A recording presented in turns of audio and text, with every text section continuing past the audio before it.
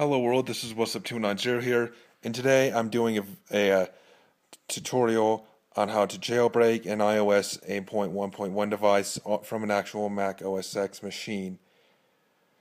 Um, unfortunately, I can't re directly record this off my screen because running Windows and running Mac and uh, running this program, running a screen recording software at the two time is at the same time is just too much. So, yeah. But you're gonna there's some things you're gonna need to do this. Uh, you're gonna need a program called Parallels Desktop. You can use the the um, the 30 day free trial. You can also you also need the Windows 10 developer kit or developer preview, uh, which is free, and I'll have a link to all these things in the description. Um, you you will need to in pro this program called TaiG.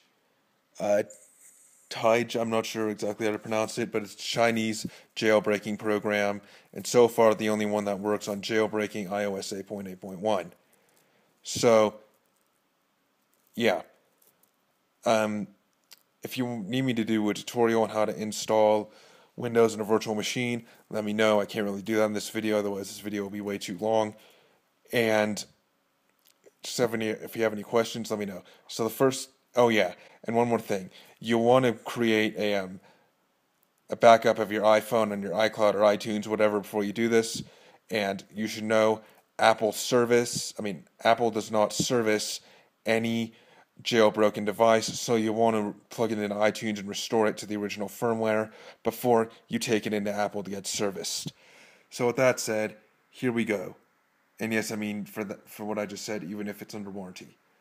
So for what I just said, here we go. When you plug it in and you have your Parallels desktop running, you should get a window that looks like this that says New External Device Detected. You'll want to select Windows. because that's how it knows to connect it to the Windows portion, not the Mac portion.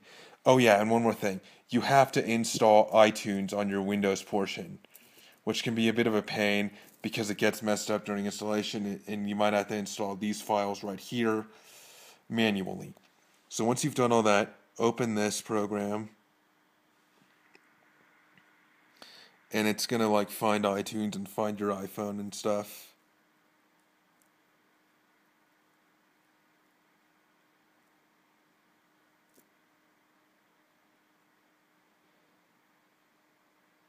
and uh,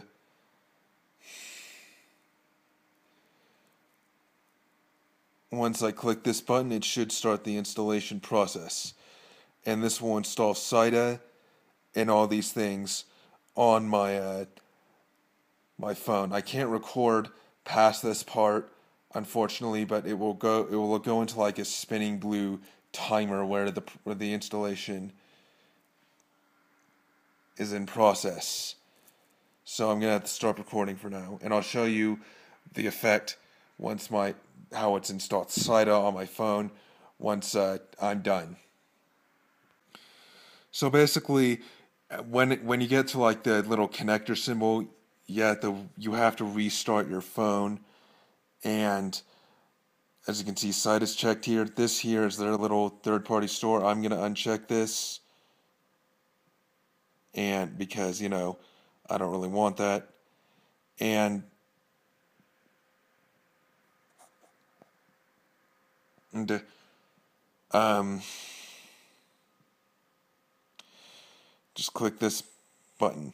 And I can't record the path at this point. I'm serious this time. So bye.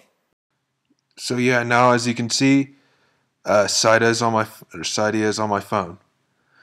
That hope you enjoyed the video. If they do make a Mac program for this, uh, I'll show you. I'll make another video, I guess.